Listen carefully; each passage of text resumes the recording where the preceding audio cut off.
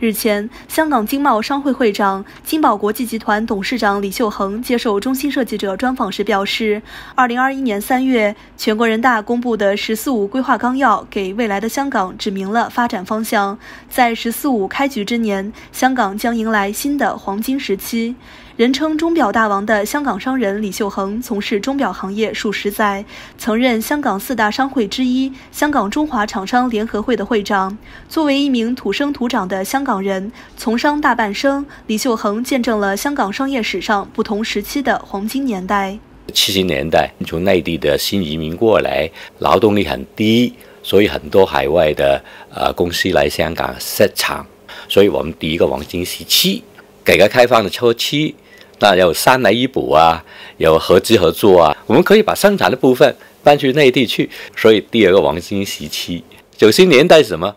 内地开启生活提高了，然后也开放它自己本身的市场，所以我们香港单着只是出口主导，现在也可以有内销回归了。呃，去年的时候啊，香港又不一样了，内地的公司开启来香港，所以把我们很多经济都是拉动了。那么往后呢，内地的游客自由行又来了，那么所以我们的旅游啊，对第三产业发展是很很厉害的。在李秀恒看来，昔日香港经济的每一次腾飞都与国家的发展脉动息息相关。如今，国家和香港面临新形势，迎接新机遇。“十四五”规划一字千金，为香港擘画出新的蓝图。从支持香港提升国际金融、航运、贸易中心，到强化全球离岸人民币业务枢纽、国际资产管理中心及风险管理中心功能，李秀恒认为，只有主动对接“十四五”规划，认清自身。定位香港经济才能开拓更广阔的发展空间。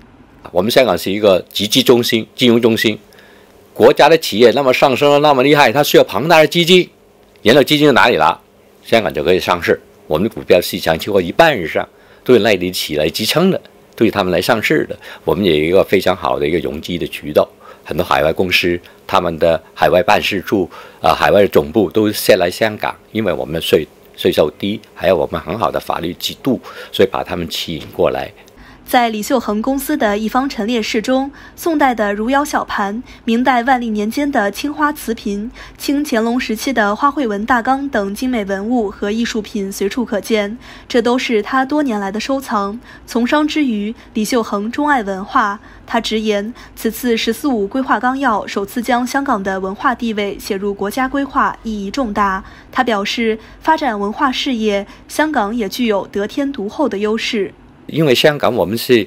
得天独厚的，那现在你看，香港历史博物馆、美术馆都在装修了，然后我们西九龙的文化中心、文化区也开发了，然后也有故宫。那么另一方面，现在大湾区的文化场所很多啊，所以我们香港的艺术团啊、我们的戏剧团团啊，很多艺术表演、画展啊都可以啊，所以